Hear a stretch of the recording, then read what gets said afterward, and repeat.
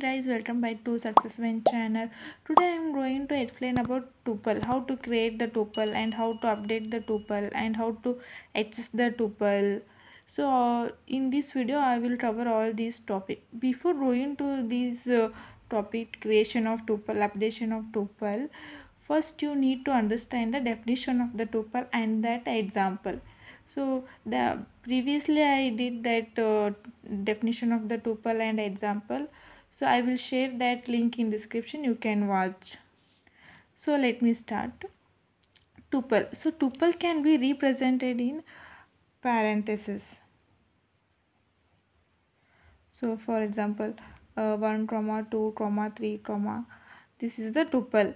So the tuple is immutable so that means we cannot update the tuple instead of update the tuple we can assign these elements along with the some more element into the another tuple so so that means same tuple will not be changed.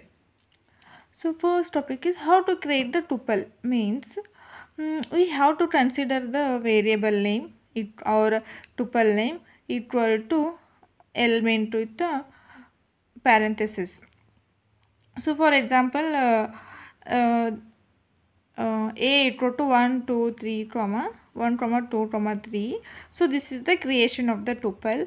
Here i am taking the a as a tuple. A, a as a tuple here.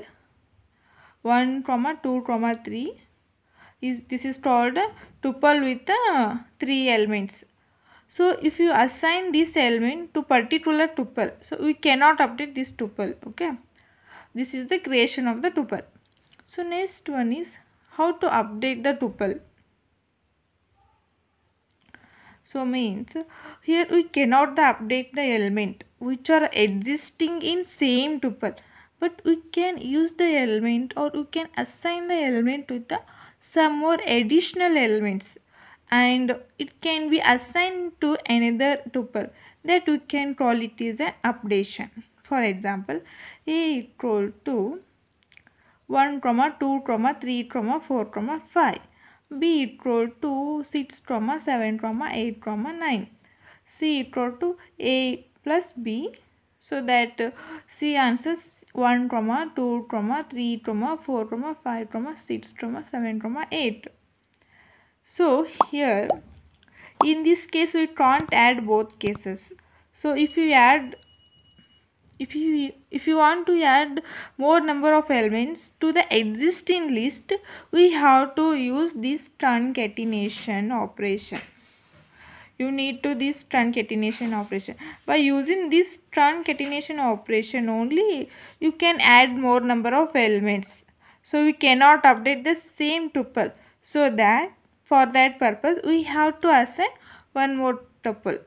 So this is the updation of the tuple no, so next, how to access the tuple? So in this tuple, accessing can be done by slicing. So what is the meaning of slicing? Means giving the index range. By using this index range, then only we can access the element. For example, a equal to 10, comma 20, 30, 40, 50. So this index value is 0, 1, 2, 3, 4. So this is how we can access the tuple so this is these are the methods in the python. So i hope these concepts are uh, clear